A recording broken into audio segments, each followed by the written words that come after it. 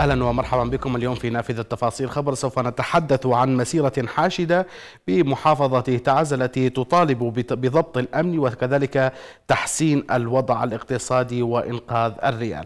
حيث خرج أبناء تعز اليوم بمسيرة حاشدة للمطالبه بالأمن والقبض على القتله والخارجين عن القانون ورفض العبث الحاصل بالمدينة وبسط المؤسسات الأمنية قوتها والقيام بعملها في توفير الأمن. ومنع الاغتيالات ورفع النقاط العشوائية. كما طالبوا الحكومة بسرعة إعادة الاستقرار الاقتصادي وإنقاذ الريال اليمني.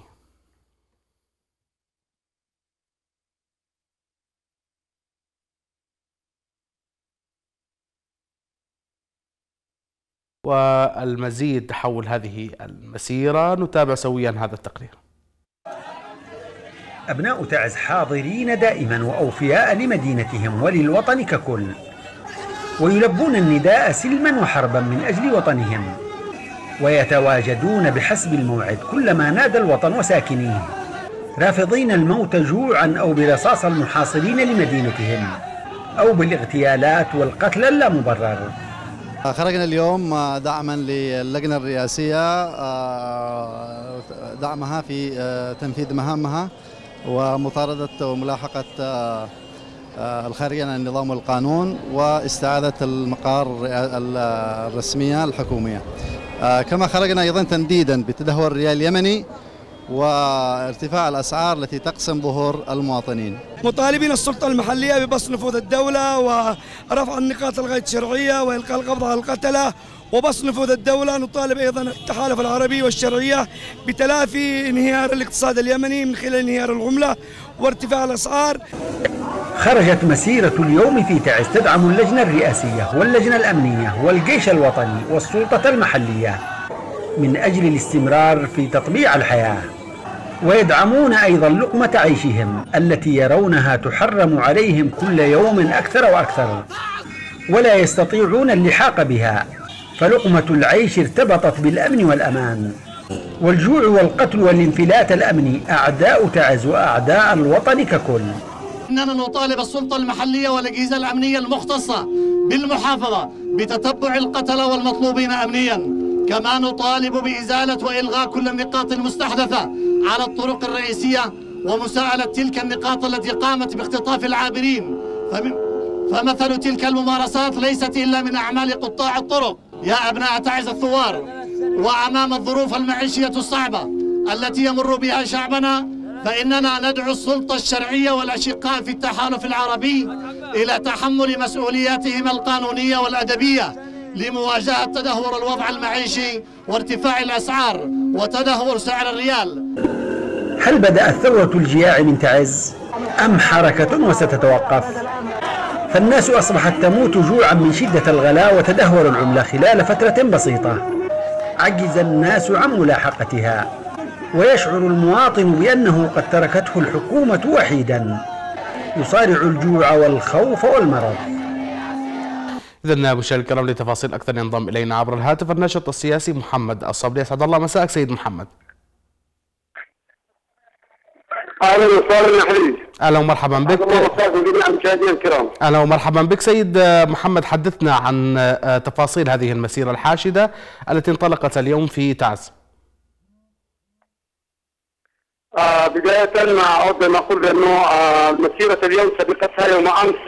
آه دعوة من أحرار تعز في في مناطق الريف في منطقة آه جبل حبشي والمصراف والمعافر والشمايتين والموافق دعوا إلى وقفات احتجاجيه ثمان وقفات احتجاجيه على امتداد الطريق الذي يوصل محافظة تعز بمدينة عدن. وكانت هذه الوقفات قوية تندد بعمل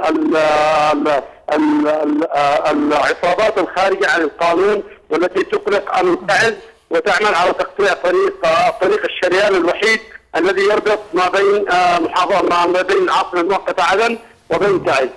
آه كذلك دعا بالأمس أحرار تعز إلى هذه المسيرة التي انطلقت اليوم آه بنفس المطالب آه وهي تطالب اللجنة الرئاسية التي بذلت جهود رائعة جدا ولاقت ارتياح في الشارع التعزي آه، لاستتباب الأمن داخل مدينة تعز وبالذات المدينة القديم التي يسيطر على بعض أحيائها كان بعض العصابات الخارجه عن القانون.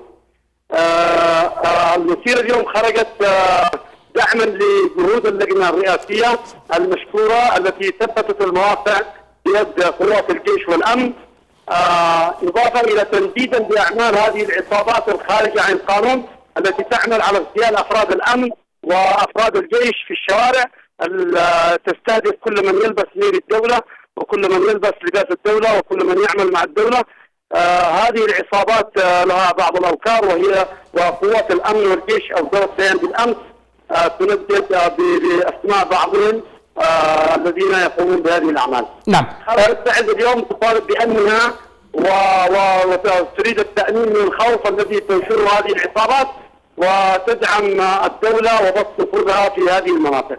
نعم. كذلك خرجت اليوم حشود تعز تندد بالأمن الغذائي أو بالخوف من المجاعة الغذائية التي تعلنها تدهور آه، العملة ال- اليمنية اليوم في في في في انهيار واضح وتطالب الحكومة والتحالف العربي الداعم للحكومة الشرعية بأن يوقف هذا التدهور وأن نعمل جميعا على آه، من أجل مصلحة المواطن. نعمل جميعا على وقف هذه هذا التدهور الاقتصادي المريع.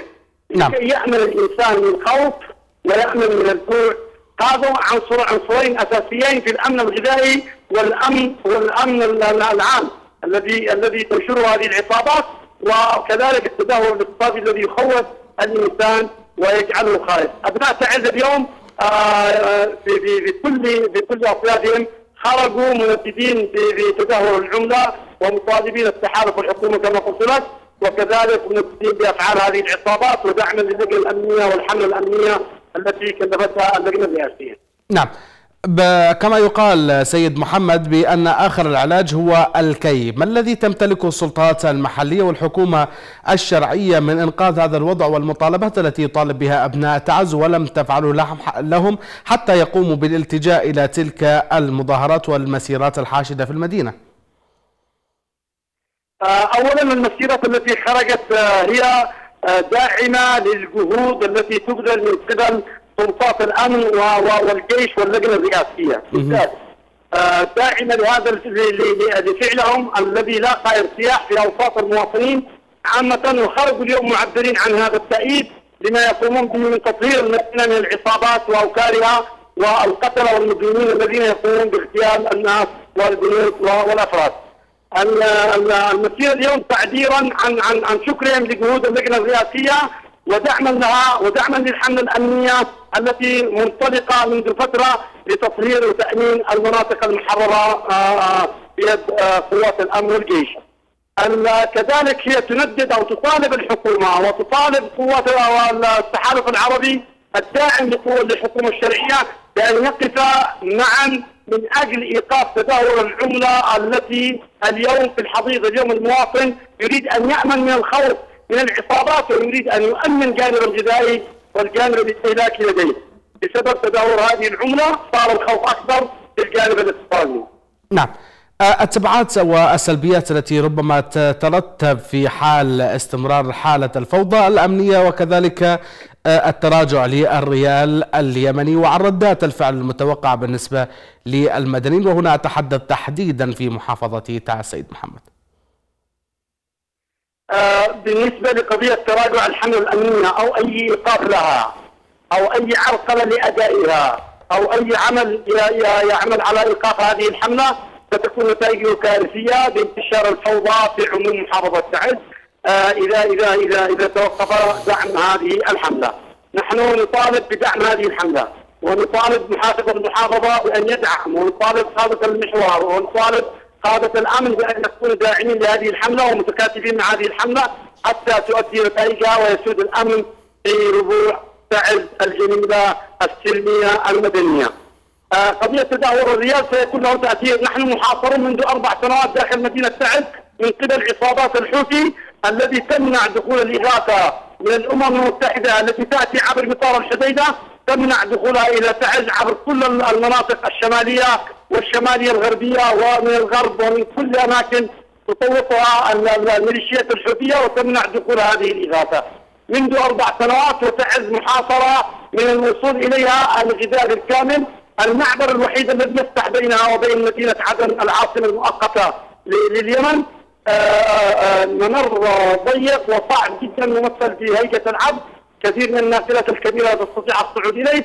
فحالة الحصار ما زالت مستمرة إلى الآن على تعز والنتائج بسبب تداول العملة يضفي يضفي ألما وتعبا لأبناء هذه المحافظة الصامدة الذين صمدوا طيلة فترة الأربع سنوات في وقت قوات الحوثي والانقلابيين يزيدهم تعبا وإرهاقا المفروض أن تتابع حكومة الشرعية هذه المدينة بمزيد من الإصلاحات الاقتصادية التي تعمل على رفع معاناة آه، هذا المواطن الذي يعيش في تعز فلا يجمع علينا عسرين عصر الحصار الحوثي وعصر تدهور العملة الاقتصادية الذي يؤدي إلى إلى إلى تعب أبناء هذه المدينة الصابرة أشكرك جزيل الشكر. الناشط السياسي محمد الصبري حدثنا عبر الهاتف حول تلك المسيرات الحاشدة التي انطلقت اليوم في محافظة تعز والتي تطالب بضبط الأمن وكذلك تحسين الأوضاع الاقتصادية وإنقاذ الريال اليمني.